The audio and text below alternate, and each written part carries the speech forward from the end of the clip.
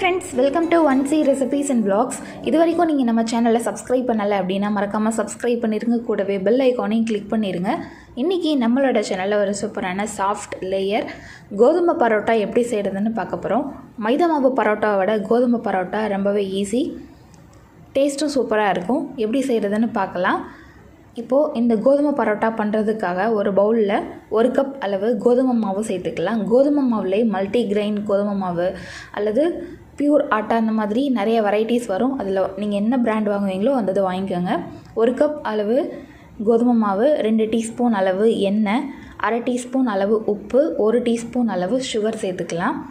Sugar சேர்க்குறனால அந்த பரோட்டாவை நம்ம தவாவில் போட்டு வேக வைக்கும் பொழுது நல்லா கேரமல் கலர் கிடைக்கும் கருகாமல் இப்போ கொஞ்சம் கொஞ்சமாக தண்ணி சேர்த்து நம்ம சப்பாத்தி எப்படி பிசைவோமோ அதே மாதிரி தான் பிசைய போகிறோம் இப்போ பாருங்கள் நம்மளோட மாவு ரெடி ஆயிடுச்சு மாவு நல்லா சப்பாத்தி மாவு பதத்துக்கு கொண்டு வந்த பின்னாடி இந்த மாதிரி அழுத்தம் கொடுத்து கொடுத்து அதை வந்து ரோல் பண்ணணும். இந்த மாதிரி ஒரு ஃபைவ் டு டென் மினிட்ஸ் வரைக்கும் நீங்கள் பண்ணீங்க அப்படின்னா நீங்கள் செய்கிற அந்த பரோட்டா நல்லா சாஃப்டாக கிடைக்கும். இந்த மாதிரி ஃபினிஷ் பண்ண பின்னாடி மேலே கொஞ்சமாக எண்ணெய் அப்ளை பண்ணிவிட்டு ஒரு பதினஞ்சுலேருந்து இருபது நிமிஷம் அப்படியே வச்சுடுங்க அதுக்கடுத்து நம்ம பரோட்டா போட ஸ்டார்ட் பண்ணிடலாம். அந்த டைமில் நீங்கள் கிரேவி அல்லது ஏதாவது இதுக்குன்னு சைட் டிஷ் ப்ரிப்பேர் பண்ணுறது இருந்தது அப்படின்னா அதை ப்ரிப்பேர் பண்ணிடுங்க. இப்போது இருபது நிமிஷம் கழித்து நம்ம அந்த மாவை எடுத்து பார்க்கலாம். நல்லா சாஃப்டாக இருக்குது நம்ம நல்லா அழுத்தம் கொடுத்து அந்த மாவை நல்லா பிசைஞ்சனால நல்லா சாஃப்டாக இருக்குது இப்போ இந்த மாதிரி ஸ்ட்ரைட்டாக ரோல் பண்ணிவிட்டு நமக்கு எந்த சைஸில் அந்த மாவு வேணுமோ அந்த சைஸில் இந்த மாதிரி சின்ன சின்ன பால்ஸாக பிரித்து எடுத்துக்கலாம். டோட்டலாக அஞ்சு பரோட்டா வரும். ஒரு கப் மாவில் அதாவது ரொம்ப குட்டி பரோட்டா. நம்ம ஃபோட்டோ பார்த்துருப்பீங்க. அந்த சைஸ் பரோட்டாவுக்கு ஒரு கப் மாவு கரெக்டாக இருக்கும். உங்களுக்கு கொஞ்சம் பெரிய சைஸ் பரோட்டாவாக வேணும் அப்படின்னா ரெண்டு கப் அளவு மாவு எடுத்துக்கோங்க.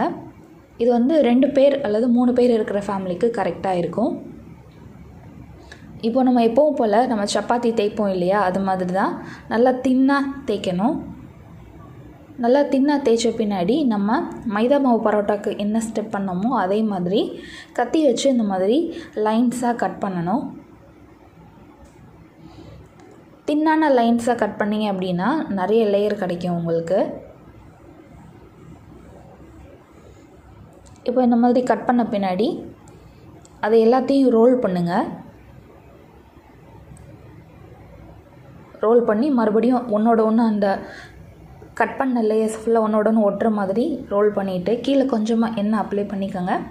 அப்ளை பண்ணிவிட்டு இந்த மாதிரி சங்கு சக்கரம் மாதிரி சொல்லுவோம் இல்லையா அந்த மாதிரி ரோல் பண்ணி அந்த எண்டை வந்து அடி கூடி ஒட்டிடணும். ஒட்டிட்டு இந்த மாதிரி கையால் ஸ்ப்ரெட் பண்ணி விடணும். பரோட்டா ரொம்ப தின்னாக இருக்காது ஓரளவு லைட் திக்னஸோடு இருக்கும். அந்த திக்னஸ் வர மாதிரி நல்லா கையால் தட்டி விட்டுருங்க இப்போ நம்மளோட பரோட்டா ரெடி ஆயிடுச்சு இப்போது இதை தோசை தவாவில் போட்டு ரெண்டு சைடும் நல்லா வேக வச்சு எடுக்கணும்.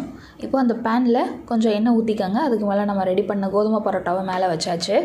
வச்ச பின்னாடி மறுபடியும் மேலே கொஞ்சம் எண்ணெய் ஊற்றிக்கோங்க டோட்டலாக ஒரு நாலு ஸ்பூன் அளவு எண்ணெய் ஊற்றுனீங்க அப்படின்னா ரொம்ப ட்ரையாக இல்லாமல் நல்லா சாஃப்டாக சூப்பரான கோதுமை பரோட்டா நமக்கு கிடைக்கும்.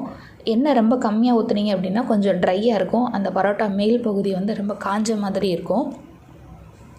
ரெண்டு சைடும் நல்லா வேக வச்சு எடுத்துக்கலாம். ஸ்லோ ஃப்ளேம்லேயே வச்சு வேக வைங்க. அப்போ தான் நல்லா வேகும்.